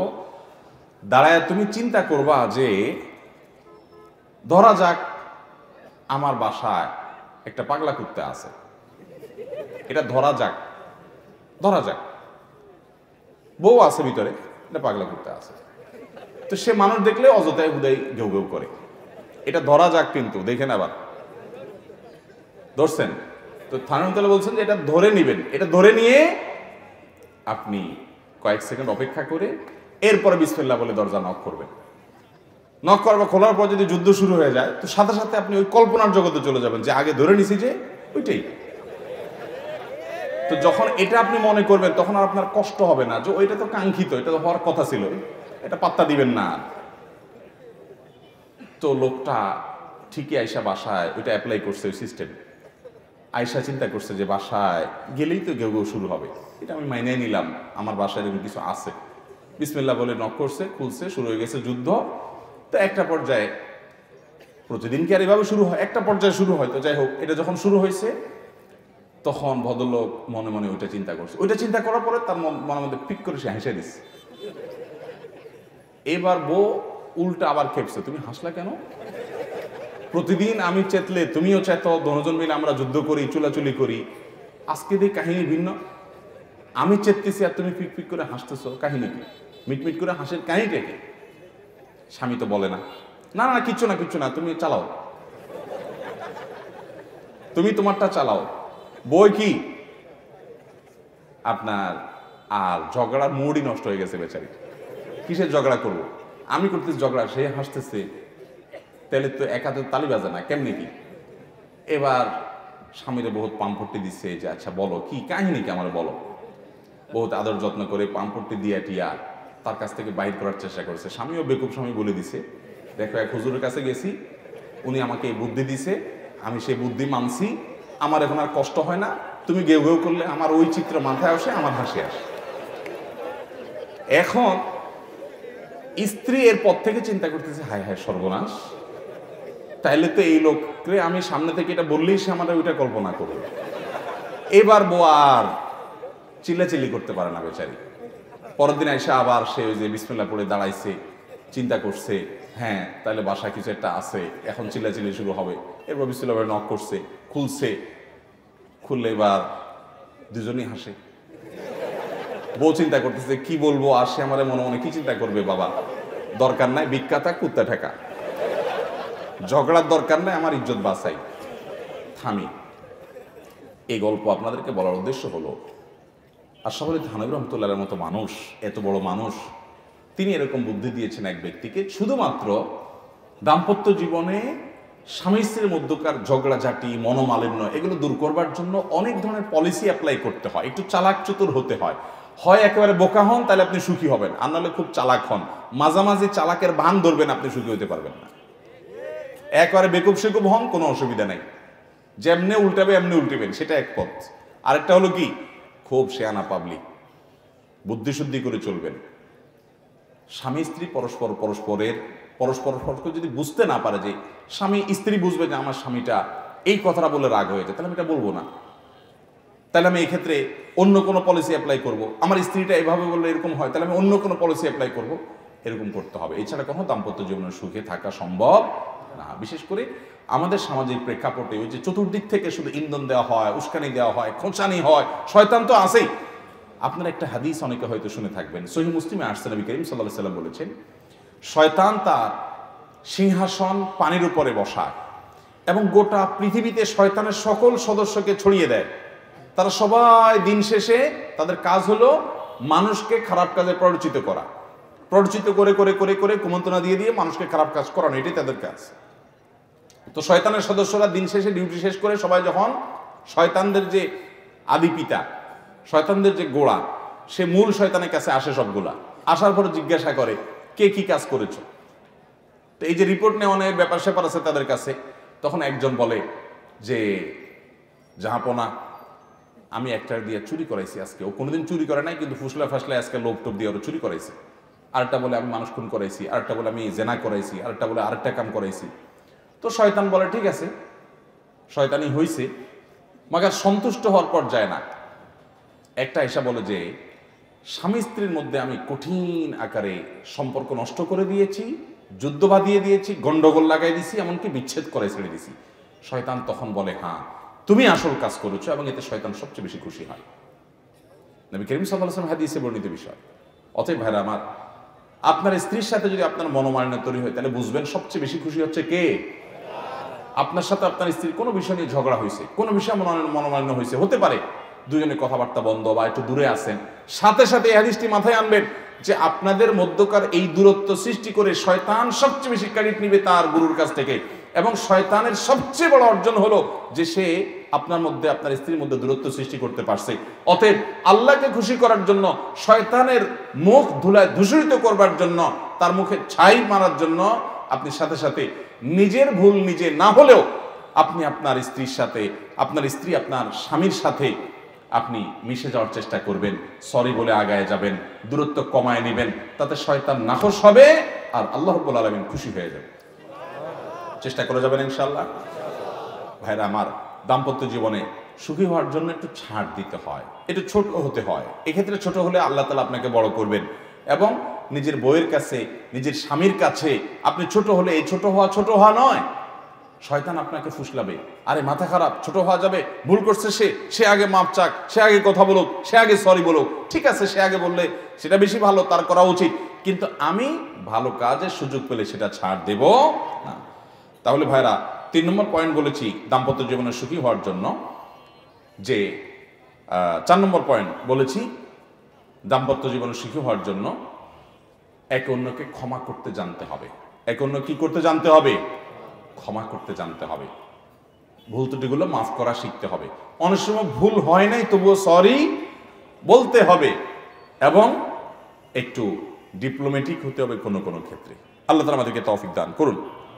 পাঁচ নম্বর হলো, বিবাহকে হারাম মুক্ত রাখতে হবে। এখনকার বিয়ে শাদীগুলোতে হারামের আয়োজন ছাড়া কয়টা বিয়ে হয়? যৌতুক ছাড়া বিয়ে কয়টা হয়? মেয়ের বাপেরা মহর বিশাল বড় বড় অঙ্ক হাঁকায় থেকে বসে থাকেন, বিয়েটারে ব্যবসা বানায় নিছেন। ছেলেরা তাদের বিয়ে উপলক্ষে ব্যান্ড পার্টি, ডিজে পার্টি এনে গান, বাজনা, বাদ্যযন্ত্র হারামের বহু উপাদান দিয়ে তারপর বিয়ে শাদী করে।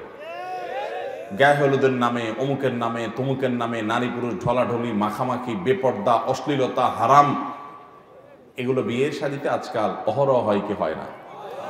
এগুলোর কারণে যে বিয়ের শুরুতেই হারাম হয়, সেখানে আল্লাহ তালা বরকত রাখবেন। এই জন্য দাম্পত্য জীবনের সুখী হওয়ার জন্য বিবাহকে হারাম মুক্ত রাখতে হবে যে, যুবকরা যারা বিয়ে করেন নাই, পরিকল্পনা করবেন যে, আমার বিবাহ হবে সম্পূর্ণ হারাম মুক্ত।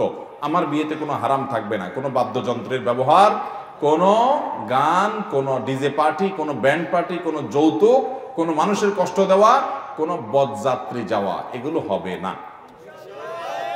বদযাত্রী বুঝেন তো? কোনটা? নিজের চোদ্দ গোষ্ঠী, আত্মীয় স্বজন, গ্রামের দুইশো, তিনশো, চারশো মানুষ নিয়ে মেয়ের বাপের বাড়িতে যায় বেহায়ার মতো, চাঁদাবাজির মতো যায় খাইয়া আসা। এটারে বলে কি? বদযাত্রী। আপনারা নাম দিয়েছেন বরযাত্রী। আর আমি নাম দিয়েছি এটার বদযাত্রী। শরীয়ত বিয়ে উপলক্ষে একটা খানার কথা বলছে। সেটা ছেলে খাওয়াবে, বিয়ে করার পর স্ত্রীকে উঠে নিয়ে আসছে, বাসর হয়েছে অলিমা খাওয়াবে সবাই আপনার আত্মীয় স্বজন যত দরকার সবাই খাওয়ান। আপনার আত্মীয় স্বজন ওই মেয়ের বাপরে খাওয়াইতে বাধ্য করতেছেন। এটা কোন চাঁদাবাজি? আত্মীয় আপনার খাওয়াবে ওই বেচারা, তার কি ঠেকা পড়ছে? এজন্য এই বদযাত্রী মুক্ত বিবাহ ডিজে পার্টি মুক্ত বিবাহ ব্যান্ড পার্টি মুক্ত বিবাহ, যৌতুক মুক্ত বিবাহ এবং অন্য যত হারাম আছে, এই যে গায়ে হলুদ, গায়ে মরিচ ইত্যাদি ইত্যাদি, এই সমস্ত হারাম মুক্ত বিয়ে করতে হবে ইনশা আল্লাহ যুবকরা চেষ্টা করবে তো ইনশা আল্লাহ বিয়ে কয়বার হবে জীবনে? বেশি হলেও জায়েজ আছে, কিন্তু একবার করতেই তো অবস্থা খারাপ। সে একবারই যখন হবে, সে বিয়েকে গুনাহ মুক্ত করার সংকল্প করতে হবে। ঠিক আছে তো ইনশাআল্লাহ? মুশকিল হলো যুবকরা নিজেদের বিয়েতে, ওই যে একটা কথা আছে না বাংলায়, যার বিয়ে তার খবর নাই পাড়াপড়শির ঘুম নাই। বিয়ে করবা ভাই তুমি, তোমার ফুর্তি এত নাই। তোমার ছোট ভাই এসে বলবে, ভাগিনা এসে বলবে, ভাতিজা এসে বলবে, মামা, চাচা, ভাইয়া, বন্ধু এসে বলবে, দোস্ত, আরে ব্যান্ড পার্টি ছাড়া হয় নাকি আরে আমাদের ভালো লাগতেছে না। আরে তুমি বাধা দিও না। সব ক্ষেত্রে এত এত ইয়ে করে পারা যায় না, এত ইসলাম মাইনা পারা যায় না। ফুসলা ফাসলা তারা তোমরা দিয়ে আকাম করবে। তুমি আগে থেকে পরিকল্পনা করো যে আমার বিয়ে উপলক্ষে কোনো ডিজে পার্টি, ব্যান্ড পার্টি হতে দেব একটা সভ্য সমাজে, একটা সভ্য সমাজে ডিজে পার্টি, ব্যান্ড পার্টির আওয়াজে আশেপাশে মানুষের ঘুম হারাম হবে, জীবন অতিষ্ঠ হবে, এটা কখনো কোনো সভ্য সমাজে গ্রহণযোগ্য হতে পারে? তোমার গান শুনতে মনে চাইছে, হেডফোন দিয়ে তুমি গান শুনতে শুনতে জাহান নামে চলে যাও। কিন্তু তাই বলে আশপাশের মানুষের ঘুম হারাম করবা, সবাইকে বাধ্য করবা, এটা ইসলাম হতে পারে? এটা মনুষ্যত্ব হতে পারে। এমনকি কোরআনে কারিমের তেলাওয়াতে আপনি যদি একেবারে হাই ভলিউমে আপনার বড় বড় বক্স ভাড়া করে এনে আপনি চালায় দেন, আশেপাশে সবাই মোবাইলে কথা বলতে পারে না, এত বিকট আওয়াজ হয়, এটা কি ইসলামে অনুমোদন করে? না, জায়েজ নাই ভাই। আল্লাহ রব্বুল আলমিন এই অসভ্যতাগুলো থেকে আমাদেরকে বিরত থাকার তৌফিক দান করুন। কয়টা বিয়ে হয় এখন band party DJ party DJ party ছাড়া? বলেন। প্রায় শতভাগ বিয়েতেই হয়। ইল্লামাল রহমান রব্বি, হাতে গোনা কিছু মানুষ শুধু বাদ থাকে। অতএব যুবকরা কারা কারা নিয়ত করছে যে আমার বিয়েতে কোনো ব্যান্ড পার্টি, বিজে পার্টি করা হবে না? আল্লাহ তালা সবাইকে তৌফিক দান করুন। আপনার মন? মাশাল্লাহ মাশাল্লাহ তাহলে ভাই, পাঁচ নম্বর বলেছিলাম, দাম্পত্য জীবনে সুখী হওয়ার জন্য বিবাহকে হারাম মুক্ত করতে হবে। হারাম মুক্ত বিয়ে না করলে দাম্পত্য জীবনে সুখী হওয়া যাবে হারাম মুক্ত বিয়ে করব। ঠিক আছে তো ইনশাল্লাহ হারাম মুক্ত বিয়ের আরেকটা পয়েন্ট বলি।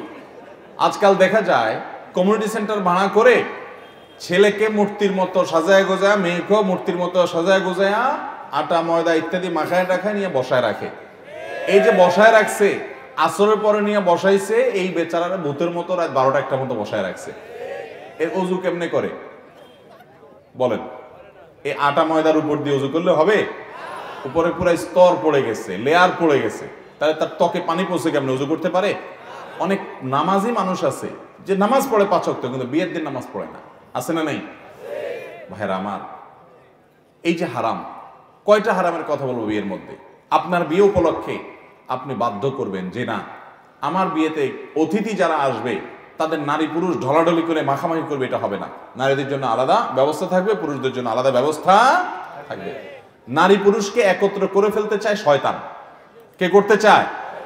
এই সমাজে শিক্ষার নামে, সংস্কৃতির নামে, বিনোদনের নামে, নানা নামে যারা নারী পুরুষকে মাখামাখি করায় ফেলতে চায়, তারা এই সমাজের শত্রু। তারা পরিবারগুলো সুখে থাকুক সেটা তারা চায় না। এরা শয়তানের ক্রীড়ানক। এরাই এই সমাজকে সবচেয়ে বেশি অস্থিতিশীল করতে চায়। আল্লাহর বিধানের বাইরে যাওয়ার ভিতরে কোনো কল্যাণ হতে পারে? সব জগতের আমি মুসলমান। আমার বিয়েতে ইসলাম থাকবে। অতএব হারাম আমি ঢুকতে দিব না। যৌতুক তো হবেই না। ব্যান্ড পার্টি, বিজে পার্টিতে হবে, ডিজে পার্টিতে হবেই না। গায়ে হলুদ, গায়ে মরিচের নাম দিয়া মহিলা, পুরুষ ঢলাঢলিতে হবেই না। গান, বাজনা ইত্যাদি, এগুলো তো হবেই না, বিশেষ করে হারাম যেগুলো আমাদের সমাজে করা হয়ে থাকে মানুষকে অতিষ্ঠ করে। এর পাশাপাশি বিয়ের অনুষ্ঠানে ওই মেকআপের নাম দিয়া আটা, ময়দা, মাখাইয়া আপনি ঘন্টায় ঘণ্টা বসে থাকলেন, নামাজের পর নামাজ গেল যে জীবনে একবারই তো। বসে থাকি ভূতের মতো, কি লাভ? যদি মাখেন তো সেগুলো তাড়াতাড়ি দূর করে নামাজ পড়ে এসে তারপরে বসবেন। মুশকিল তখন তো আপনার ওই যে গোমর ফাঁস হয়ে যাবে। যাক, তবুও নামাজ ছাড়া যাবে এবং নারী পুরুষের মিশ্রণ, বিবাহ অনুষ্ঠান ইত্যাদি এগুলো হবে না। আল্লাহ আমাদেরকে তৌফিক দান করুন। তাহলে দাম্পত্য জীবনের সুখে থাকার জন্য পাঁচ নম্বর শর্ত হলো হারাম মুক্ত বিবাহ। ছয় নম্বর হলো, স্বামী স্ত্রী পরস্পরকে সময় না দেওয়া আজকের যুগে দাম্পত্য কলহের অন্যতম কারণ। স্বামী স্ত্রী পরস্পরকে সময় দিতে হবে। কি দিতে হবে? সময় দিতে হবে। বাসায় ঢুকবেন মোবাইল টিপতে টিপতে, আবার বাইরে হওয়ার সময় মোবাইল টিপতে টিপতে বাইরে হবেন। আইসা দপ করে বসে সোফার মধ্যে, চেয়ারের মধ্যে বসে আবার মোবাইল টিপবেন। ফেসবুক ইউটিউব টিপবেন হোয়াটসঅ্যাপ টিপবেন টিকটক টিপবেন হ্যাঁ? ফেসবুকের কাগজে বন্ধুদের হক আদায় করবেন, নিজের বউ থুইয়া মনে রাখবেন, এটা ইসলামে কখনো জায়েজ হতে পারে। এমনকি মহিলারাও আজকাল একই অবস্থা। দেখা যায় তার বান্ধব বান্ধবী নিয়ে তারপরে বিভিন্ন সিরিয়াল নিয়ে এমন এঙ্গেজ হয়ে গেছে মোবাইল ফোনে এই মোবাইল ফোনে যে অ্যাপগুলো আমাদেরকে বলতেছে সামাজিক অ্যাপ, এগুলো বেশিরভাগ আমাদেরকে অসামাজিক করে ফেলছে। নিজের ঘরের স্ত্রী থেকে স্বামীকে দূরে ফেল দূরে সরাই ফেলতেছে। স্বামী থেকে স্ত্রীকে, স্ত্রী থেকে স্বামীকে, বাপ থেকে সন্তানকে, সন্তান থেকে বাপ, মা, একজন থেকে আরেকজনকে পৃথক করে ফেলছে। মনে রাখবেন, স্বামী, স্ত্রী একে অন্যকে সময় দেওয়া আবশ্যক, ফরজ।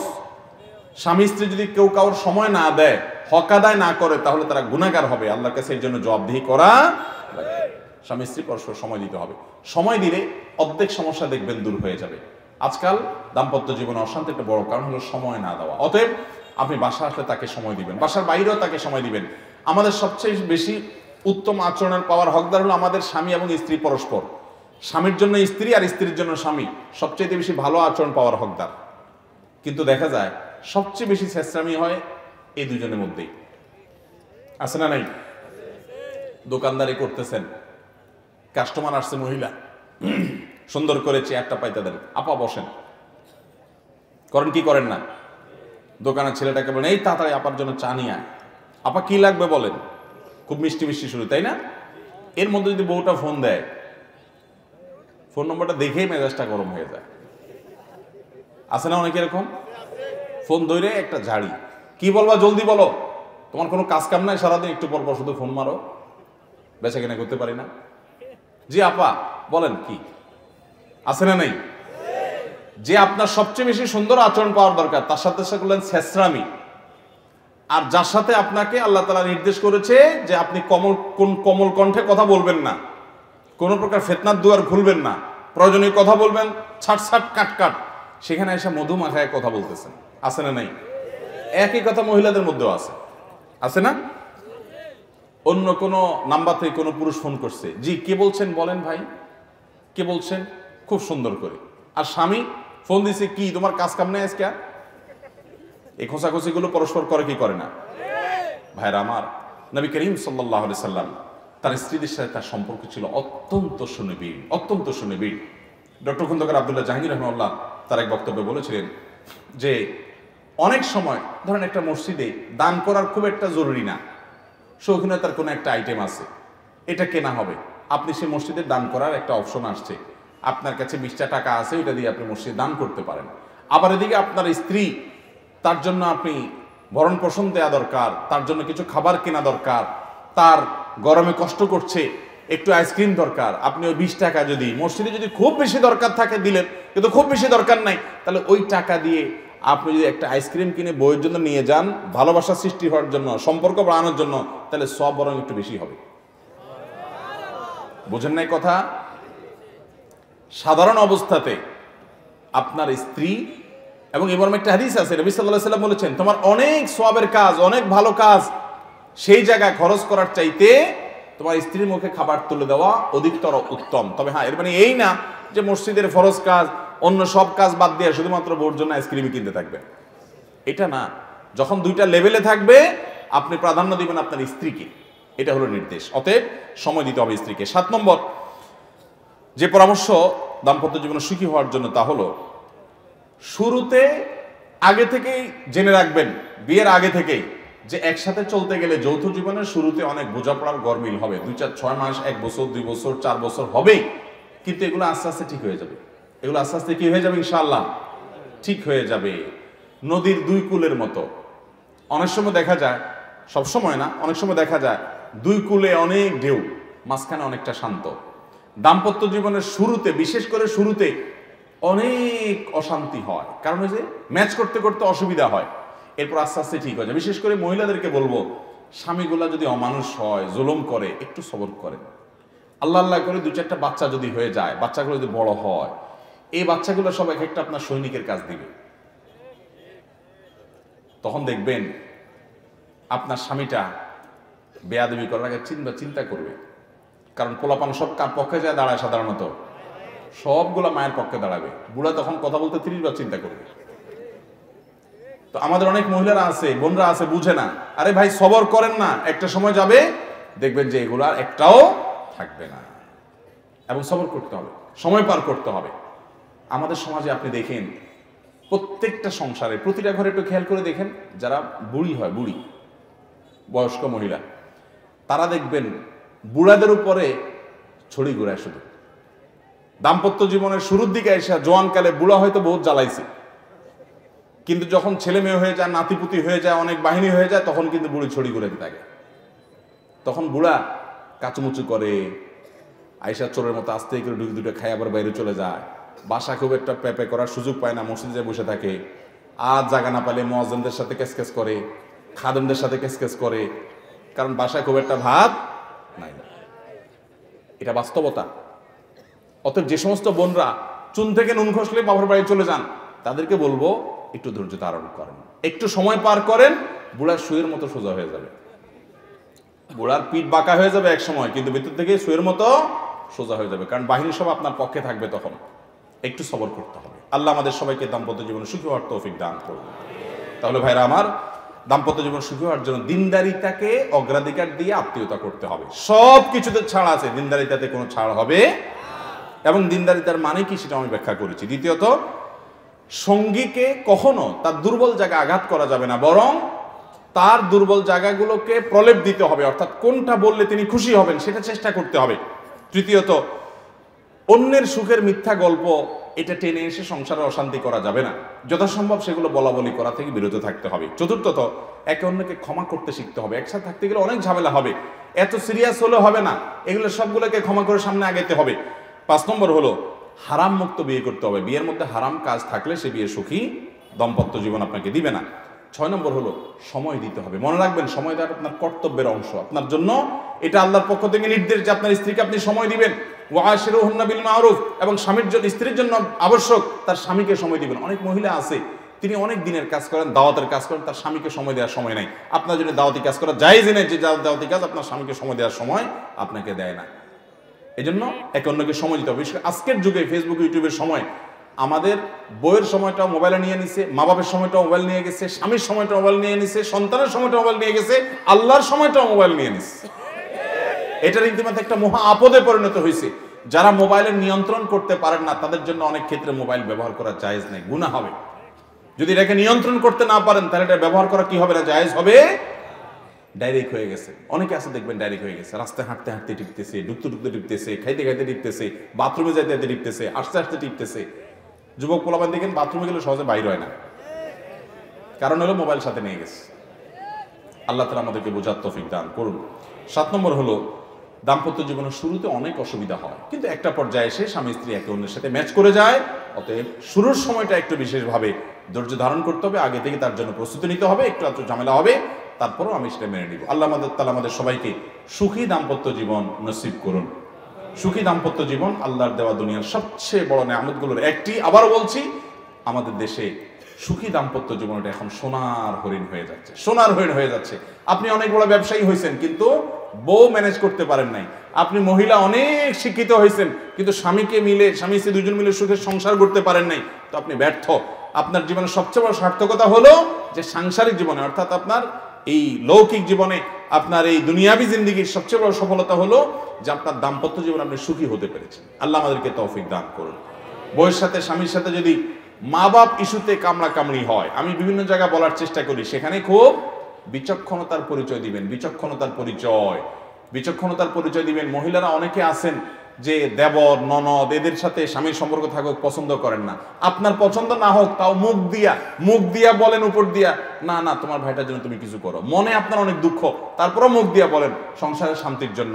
ঠিক একই কথা, ওই যে স্বামীর জন্য প্রযোজ্য, যে আপনার মার ব্যাপারে আপনার বইয়ের অভিযোগ, আপনার বোনের ব্যাপারে অভিযোগ, আপনার ভাইয়ের ব্যাপারে অভিযোগ, বইয়ের অভিযোগগুলো উড়াই দিয়েন না সব সময় মাঝে মধ্যে বলবেন যে হ্যাঁ তুমি যা বলছো যদি সঠিক হয়, একেবারে ভুল তো তুমি বলো না, কথা তো সত্য। এখন কি করব? আমার মা, বোন না হলে উল্টে ফেলাইতাম আমি এরকম যখন বলবেন, তখন বউ চিন্তা করবে যে আমার স্বামীটা বেকুব বেচারা। সোজা মানুষ, মানুষটা ভালো। তবে কি? সোজা। বেচারা যদি একটু চালাক হইতো, তাহলে এগুলো সবগুলো সাইজ করে ফেলতো। একটু তাকে খুশি রাখার চেষ্টা করবেন। আর যদি বলেন হ্যাঁ আমার মার ব্যাপারে কেন কথা বললা? আমার বোনের ব্যাপারে কথা বললা? তো শেষ। শান্তির দেখা আর পাবেন আল্লাহ তালা আমাদের সবাইকে বোঝার তৌফিক দান করুন এবং আল্লাহর কাছে দোয়া করতে হবে। সুরা খানের চুয়াত্তর নম্বর আয়াত, রব্বানা হাবলানা মিন আজওয়াজিনা ওয়া যুররিয়াতিনা কুররাত আয়ুন ওয়াজআলনা লিল মুত্তাকিনা ইমামা। আল্লাহ তাআলা আমাদের সবাইকে দুনিয়া আখিরা উভয় জগতে সফল হওয়ার তৌফিক দান করুন। জাযাকুমুল্লাহু খাইরা ওয়া আখিরু দাওয়ানা আলহামদুলিল্লাহি রাব্বিল আলামিন।